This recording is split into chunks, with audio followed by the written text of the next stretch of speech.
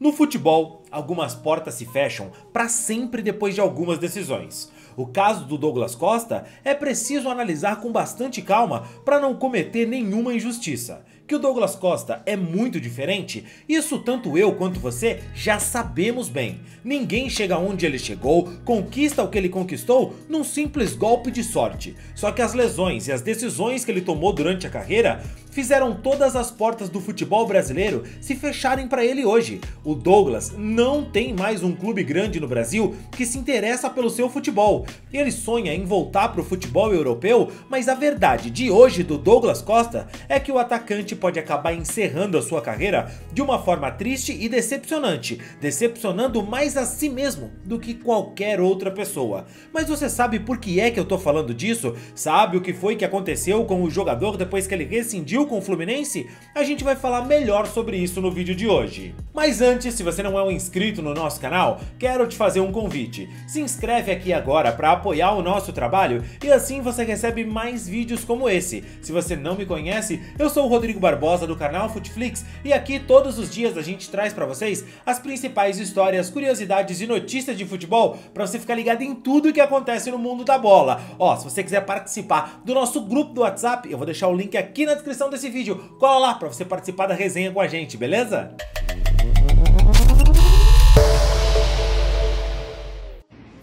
Fala torcida tricolor, cheguei, tô pronto para vestir nossa armadura. Vamos para cima, valeu?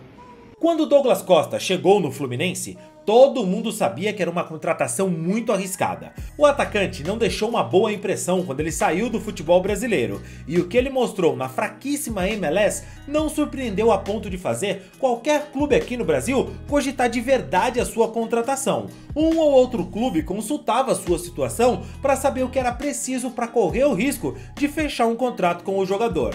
E ele esteve perto de ir para a Turquia, quando de repente ele recebeu uma ligação do Fernando Diniz, na época técnico do Fluminense, fazendo com que ele mudasse de ideia. Aquela ligação mudou um pouco a carreira do Douglas Costa. Era uma chance que ele tinha de passar mais tempo longe do futebol brasileiro, jogando numa liga competitiva de verdade. Na Turquia se pratica futebol e não soccer. Ele podia assim chamar, quem sabe, a atenção no futuro de outros clubes do Brasil ou até mesmo do futebol europeu. Estaria ali ao lado. Tava indo pra Turquia nesse dia, e aí o Diniz me ligou.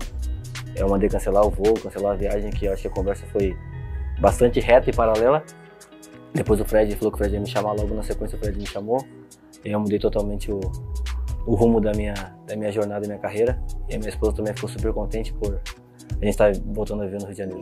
Agora pensa comigo, a gente está falando do Douglas Costa, um cara que por currículo não precisa de jeito nenhum de apresentações. Ele foi revelado pelo Grêmio, passou pelo Shakhtar, chegou ao poderoso Bayern de Munique por um pedido do Pepe Guardiola, foi titular por anos na Juventus de Turim, jogou a Copa do Mundo com a seleção brasileira. Inclusive é importante dizer que na Copa do Mundo de 2018, que ele chegou lesionado, o Douglas jogou e jogou muita bola, jogou bem, sem lesões cara, podia ter ido mais longe ainda. É um jogador de capacidade técnica inquestionável. Também é um prazer poder trabalhar com ele. O Fluminense trouxe um grande jogador.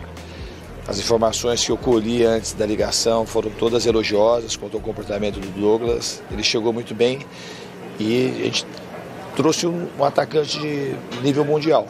Acho que eu tenho que falar para o Douglas. Eu espero que de fato que ele se reencontre aqui é, a minha aposta é nessa, eu sinto, minha intuição, quando eu liguei para ele, é muito nessa direção de que ele vai reencontrar o prazer e a felicidade de jogar futebol aqui no Fluminense. Ele também chegou em boas condições em relação ao período que ele está parado de, de, de, atividades coletivas.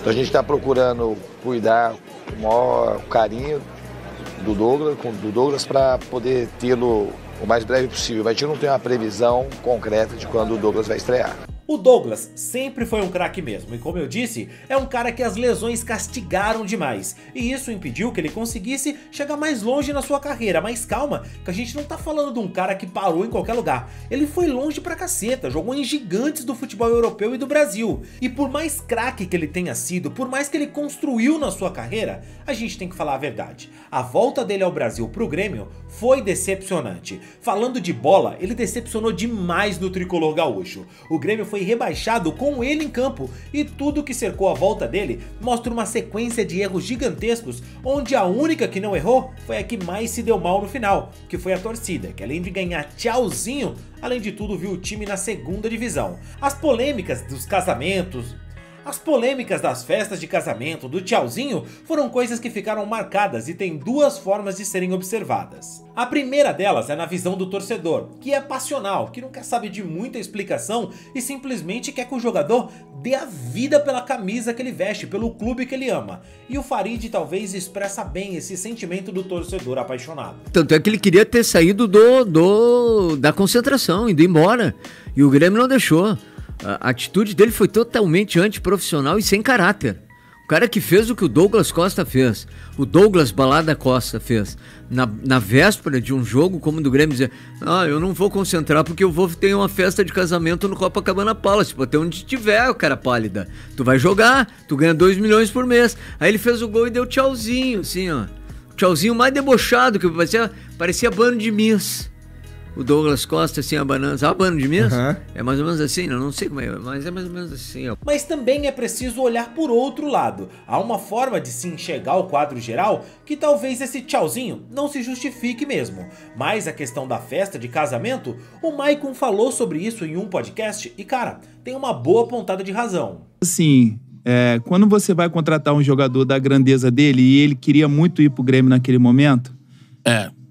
É no meu modo de ver, não sei, mas eu, pelo que eu escutei e até dele, já tinha combinado. Ele já tinha combinado. Parado do casamento. É, parado do casamento. Com o presidente, com a diretoria. E os caras, para pra contratar ele, não, tá tudo certo, que não sei Sim, o quê. Sim, vir, né? É, o Grêmio não vai brigar com é, o rebaixamento. É. Entendeu? Não vai ter... tipo assim, na cabeça dos caras, ninguém imaginava ali. que iria acontecer aquilo. É. Mas ele já tinha tratado com o cara. Eu acho, posso estar falando merda aqui, mas pelo que eu escutei de outras pessoas, já estava no acordo. Mas enfim, todo esse episódio do casamento, tchauzinho do Grêmio ficou no passado, né? O Douglas Costa foi jogar na MLS, conseguiu fazer algumas partidas por lá, apesar das lesões, mas não foi nada também de encher os olhos. Quando o Fluminense teve a ideia de contratar o jogador, ninguém precisava ser um expert no assunto para saber, é claro, que não era lá uma grande contratação que mudaria o clube de patamar. A torcida do Fluminense não se empolgou com a contratação do Douglas Costa. Parecia muito mais uma tentativa do Fernando Diniz de fazer um grande movimento e recuperar um craque do futebol do que qualquer outra coisa.